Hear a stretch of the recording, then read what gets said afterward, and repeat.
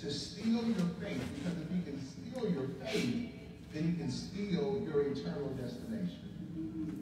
This thing is, it, it, what, what, it, it really is a mind, mind game. It really is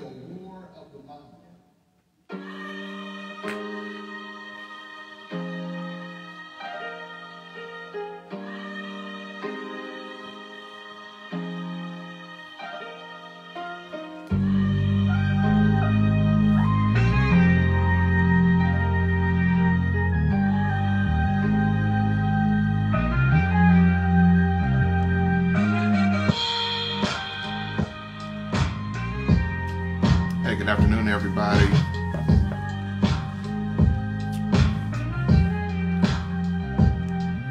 Hey, Stephanie, how are you?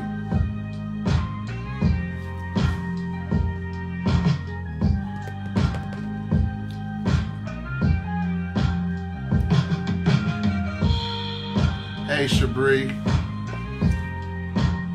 Long time no see. I hope to see you soon. Welcome. Good afternoon to you.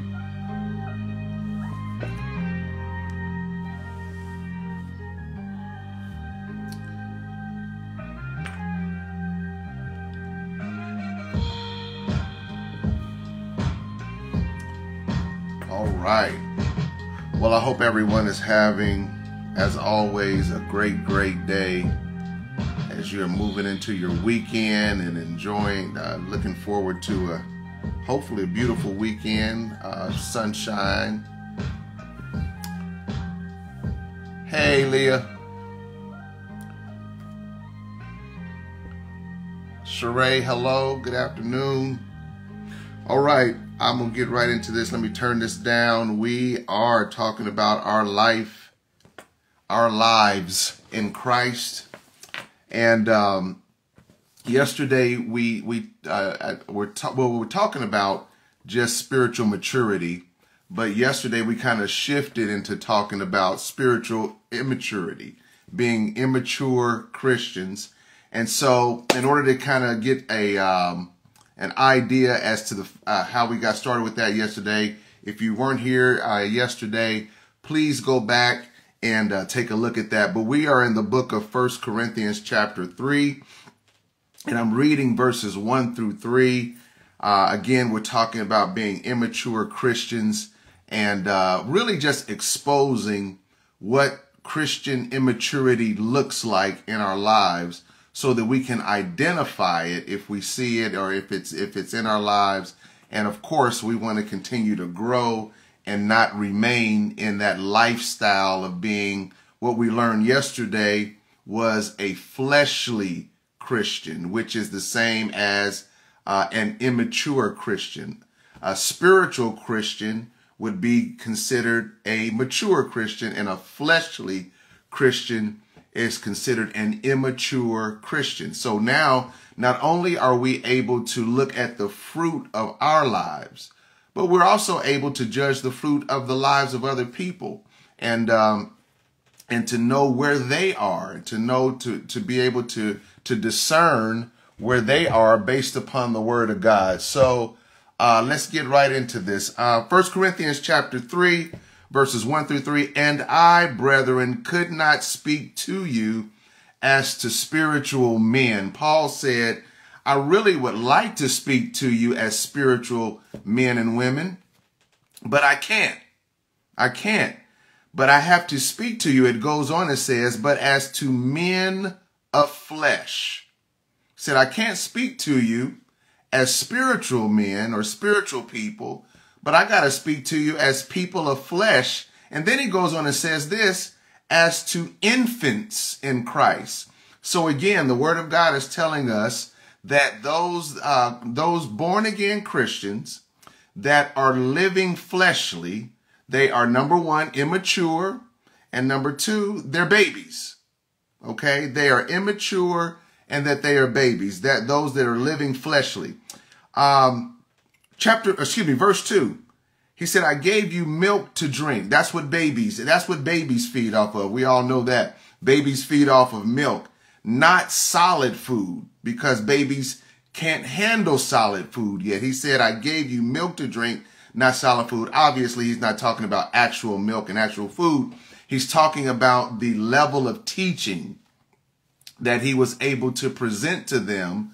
Uh, you know, the, the milk being the very foundational things and then the meat being more, more revelation of the word of God. He said, I couldn't give you the meat. I couldn't give you the solid food for you were not able to receive it then. And indeed, even now you're not able. He said, listen, this is interesting. He said that some time has lapsed that, you know, there was one point where, yes, you should have been on milk and I should have given you milk and not meat. You weren't ready for it. He said, so you weren't ready for it then. That's cool. That's fine. But he said, but here is the, here is the, um, the issue. They're still not ready for it. Over time, something should have happened. Over time, as a born again believer, as a follower of Jesus Christ, there should be some sign of maturity. And what he was saying was, you're still acting fleshly. You're still behaving fleshly. Here it is. You're still living fleshly when time has elapsed in your time, uh, in your walk with the Lord, where you should have been progressing towards maturity, you're not. That's an issue. It shouldn't be. If you're, if, if you've been, been born again for years, you still should not be living in an immature, fleshly lifestyle. It shouldn't be happening. So he says, um, verse three, for you are still fleshly. You're still fleshly. For since there is, and now he's now he's describing the aspect of them living fleshly, uh, the more uh, particulars, I should say, of them living fleshly. He said, For since there is jealousy and strife among you, jealousy, strife, two works of the flesh two works of the flesh. And that's what we're going to go to in just a minute, the works of the flesh. He said, it's still there. You're, you're dealing with jealousy still. You should be a mature man of God, a mature woman of God. You're still dealing with jealousy. You're, you should be a, mature, mature man of God, a mature woman of God. You're still dealing with strife. You shouldn't be. He said, are you not fleshly? Are you not walking, walking, that word, word walking, whenever you see walking in the Bible, it means this, living. To walk, when he says walking, it means that you're still living a certain way. You still have a certain lifestyle, a certain lifestyle. So let me read verse 3 again before we go to Galatians 5. For you are still fleshly, for since there is jealousy and strife among you, are you not fleshly? Are you not walking like mere men? See, listen to this. He said, you're still walking like everybody else, mere men. Now, now that's interesting because he says mere men as if to say there is another level of living that, that they should be living in, not like mere men, but watch this, like supernatural men and women, like spiritual men and women. In other words, he's saying you shouldn't be living like everybody else. You should not be living like everybody else that are not followers of Jesus Christ. You should be living spiritually. You should be living in a mature way. You should be living in a supernatural way, right? So we're seeing something here. We're seeing a correlation between fleshly and immaturity. We're seeing a correlation between spiritual and maturity. Now let's go back to Galatians 5 and we see in Galatians 5 this list of the works of the flesh. This list of the works of the flesh. And yesterday we, we began talking about, let me get my scripture here. Yesterday we began talking about the first two of the works of the flesh out of Galatians chapter 5. I believe it starts in verse 19 yeah, 19, 20, and 21. The first two that we talked about yesterday was adultery, that's a work of the flesh, and fornication. Voice just went out. Adultery and fornication, two works of the flesh. If we're living in a lifestyle of adultery or living in a in an ongoing habitual behavior of adultery or fornication, then we're living fleshly. We're living fleshly. In other words, we're immature. All right. Um, and we talked a little bit about yesterday uh, um, what sin is. Sin simply means to miss the mark. To miss the mark. Throughout the remainder of our lives, let me just share this because the Bible does not does not teach sinless perfection in this life. It does not teach sinless perfection in this life. So myself or nobody else on here that's watching or that will ever watch this will ever live from this moment on for the rest of their lives in sinless perfection. None of us will. Okay. So I just want to get that on the, put that on the table right now. So you know it's not going to happen. All right. But, but what should happen is that if we sin, it is a sin. It is not a lifestyle of sin. Okay. If we sin, then what are we to do? We are to confess that sin and repent of it. Again, okay, again, for somebody who may be new, what is repentance? A re the repenting of something means to change my mindset towards it. So if I commit that sin, to truly repent of it means that, okay, I was willing to do it that time, but I'm not willing to do it ever again. That is true repentance. I did it, but I'm not willing to do it ever again. That is true repentance. Now, here is what I remember, you know, back uh, when I first got saved. I, I, I did not, I, I did not, uh, it wasn't true repentance for me. It was confession. Remember, it's supposed to be confession and repentance. Mine was confession, then do it again, then confession, then do it again, then confession, then do it again, then confession. How much time we got? Then do it again, then confession. Let me keep going. Then do it again, then confession. That's not true repentance. That's not true repentance. That was spiritual immaturity. That was living fleshly as a born again believer. So if you find yourself in a in a in a uh, lifestyle of okay, Father, I'm confessing it to you, but then I'm doing it again. Then I'm confessing I'm doing it again. That's not true repentance. And what it's showing is fleshly living or spiritual immaturity. Listen, in that area of life, spiritual immaturity in that area of life. So today, let's talk about a couple of more, three more out of the how many? I don't know how many it is. I'm not going to even count right now let's talk about the next three uh, works of the flesh to make sure we are able to expose and identify if we are living a lifestyle of uh, living in the in the flesh. All right. Um, Galatians 5:19. Galatians 5:19. Now the works of the flesh are manifest, which are these. Here are the works of the flesh. Yesterday we talked about adultery. Yesterday we talked about fornication, right? And then today we're going to talk about the next three. Uncleanness, that's a work of the flesh. Lasciviousness, that's a big word. That's a work of the flesh. We go break it down. And then idolatry, that's a work of the flesh. So adultery, fornication yesterday, today, uncleanness, lasciviousness, and idolatry. What is uncleanness? Uncleanness means uh, whatever is opposite of purity, including, listen to this, sodomy, homosexuality, lesbianism. Whatever is opposite of purity, including sodomy, homosexuality, lesbianism.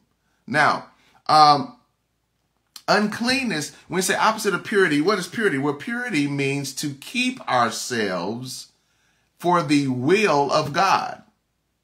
To keep ourselves for the will of God. Now, it points out sexual, uh, excuse me, it points out uh, sodomy, homosexuality, lesbianism. Why? Because the first two covered everything else. adultery, fornication, which really covers everything, but adultery and fornication. So now we're just talking about uncleanness. To live in a lifestyle of uncleanness, all right, which includes what I just listed, that is a work of the flesh. Now, check it out. Listen, listen. It does not mean, it does not mean that they're not saved, just like the adulterer. If somebody's an adulterer in an, uh, you know, an ongoing lifestyle of adultery, it does not mean at that point that they are not a born again believer.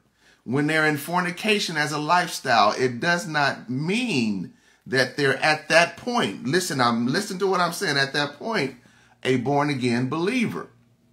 Um, uncleanness. Someone someone's dealing with lesbianism or homosexuality. It does not mean that they're not born again. Okay? What does it mean though? It means that they are uh, delving, that they're in a lifestyle of the works of the flesh, meaning that they're immature in their walk with God. So, you know, why do I, why do I, why do I, uh, I'm putting a lot of emphasis on this because for some reason, for some reason, um, I don't know if it's society or what it is, but for some reason, everybody can ex not excuse excuse definitely is not the right word. Everyone can have uh, compassion upon an adulterer or a fornicator but when it comes to someone who's homosexual or lesbianism it's like you cannot even be saved if you're doing that. Well no that's a work of the flesh. That's why we love this See, this goes into something else. I'm not going to even get into that because it's 12 18 but we love everybody right where they are because it's the Holy Spirit who cleans us up. See, that's why we're going through these works of the flesh because your thing might not be my thing and my thing might not be your thing. But if it's a thing, we need the Holy Spirit to deal with it in our individual lives. So to go at somebody else like you are just, oh, how could you? and yet we are under one of these works of the flesh, we're no different. We're no different. So let's stop looking at people like they are so different and let's love them and, and teach them. Love them and teach them so that then they can be delivered and, and, and healed or whatever. They, can repent, whatever they need to do in order to, in order to continue to walk with God. Now, so let me move to the next one. Then I'm gonna finish up with uh, with, with with something else though. Uncleanness. So we went over uncleanness. We went over uncleanness. Lasciviousness. What is lasciviousness? Promoting or partaking of that which tends to produce lewd emotions. Anything tendering to foster sex, sin, and lust. Lasciviousness promoting or partaking of that which tends to produce lewd emotions, lewd emotions, uh, un, uh, uh, un, impure emotions. Now, see, this is where some people, uh, some some denom. Well, anyway, this is where aspects of the the body of Christ that we get into legalism with this. This is where people say, "Hey, don't go to movies at all.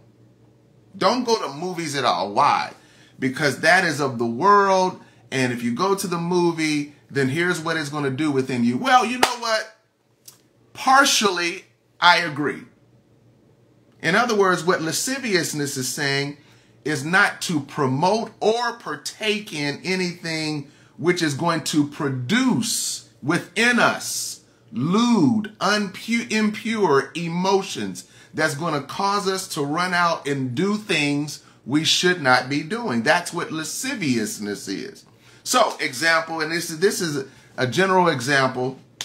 You know, music is powerful. Music is powerful. Um, now, me and my wife, we listen to you know good listen to you know some some uh, R and B music, uh, romantic music, and you know, and we love each other. Blah blah blah. Okay, all right, we do that. All right, cool. But if we weren't saved, excuse me, if we weren't married and we put ourselves in a situation where, hey, having a romantic evening, we got, you know, we have something to eat, we got the music on, and it's getting us into this place where we want to come together and, and have sex. That is, that is where we are living dangerously. That's what lasciviousness is talking about. Because as a, uh, um, I hate saying single because even if you're born, if you're single, anyway, as an unmarried, as an unmarried man and an unmarried woman spending time together, we're supposed to spend the time together. That's what you do when you're dating. You're supposed to have fun together, but we should have boundaries. Boundaries. We want to make sure that we are, are if we're if we're using wisdom, let's just put it that way. If we're using wisdom, we want to make sure we set boundaries that we're not watching or listening to anything that's going to get that flesh going. And then here we go. we done done something that now we know that we don't want it, we shouldn't have done. And then what do we do though? If we do it, we confess it and repent of it. Not confess it and do it again and confess it and do it again and confess it and do it again and confess it and do it again, but confess it and repent of it. So that's what lascivious means. It, it means something that um,